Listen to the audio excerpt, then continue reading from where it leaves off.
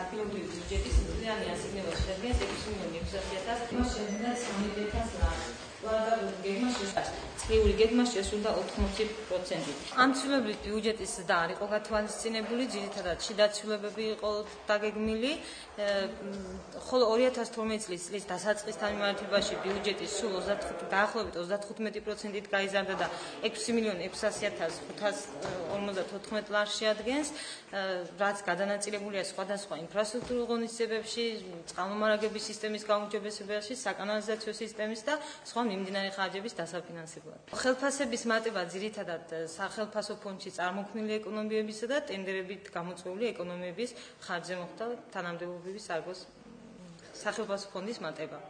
ანუ ეს ზედან მოდის და ტრანსფერი ტრანსფერი ამ პერიოდისათვის არ გაზრდილა ტრანსფერის სიდონება ძირითადად იგივე აუცილებელი 2013 წელს დარჩება ეს გაზრდილი ხელფასების აღარა რა თქმა უნდა გაზრდილი ხელფასებით იქნება სახელმწიფო ფონდი დათვლილი 2013 წლისათვის.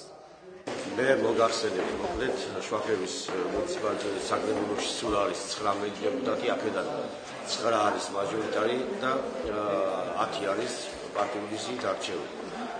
მე როგორც საგრებულოს წევრი ვიყავი სამართლიანი საქართველოსთან დეპუტატობის კანდიდატი ამ შემთხვევაში 2010 წელს ჩატარდეს არჩევნები დღეს კი რა თქმა უნდა ყველას უცნობია რომ მე ვარ ქართული ოცნების წევრი.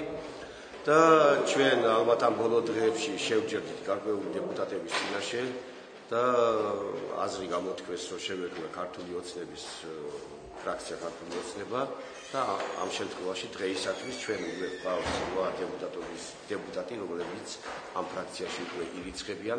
რაც შეეხება ოფიციალურად დარეგისტრირებას, ჩვენ თავმჯდომარეს მივმართეთ, რომელმაც მოგცა პირობა, რომ გარკვეული პერიოდის შემდეგ რაღაც საპროცედურო საკითხებია გასავლელი იულიულად მოსაგვარებელი ეს ყველაფერი და ძალიან მალე ჩვენ უკვე შევდგებით ფუნქციონირებას როგორც ფრაქცია ქართული ოცნება. სახელმწიფო განსაკუთრებით ახლა ქვეყნის მასშტაბით განცხადებული გაგებთან რომ ხაზინაში არის მხოლოდ და მხოლოდ 200 მილიონი ლარი, რომელსაც აფიქსირებს შევანდელი ხელისუფლება, ახალი ხელისუფლება უბრალოდ, მაგრამ ძველი ხელისუფლება იძახდა რომ ჩვენ გვაქვს 2 მილიარდი, რომელიც არ დასტურდებოდა ამ შემთხვევაში სახელმწიფო მომატებები ჩვენთვის მიუღებელი იყო, იმიტომ ამით პრობლემა შეექმნება ახალ ხელისუფლებას და ამიტომ ჯობდა ჯერ გარკვეული იყო რა გვაქვს მართლა ხაზინაში და რამდენი და რამდენი საშუალებაა რომ ჩვენ მოუმატოთ ხელფასებს და იმის შემდეგ მე რა თქმა უნდა წინააღმდეგი არასოდეს არ იქნები ხელფასების მომატებაზე უბრალოდ ამას ჭირდება გარკვეულად ეს უნდა გააკეთოს ახალმა ხელისუფლებამ ეს ქვეყნის მასშტაბით მოხდა ეს სახელმწიფო მომატება ბუნებრივია ეს შვახების რეალიანობის სამობილებლად ვერ გადაწყვეტს.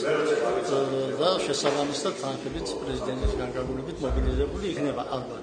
ჩვენ ეს მივიღეთ ინსტრუქცია ის დამატების საკითხი გაშეგვიდანასწრომა და სტომაზონი განიხილა და ამტკიცა და შემდგომში მოვლენები გამიშვალება და გავინახავ როგორ მოხდება შესახებ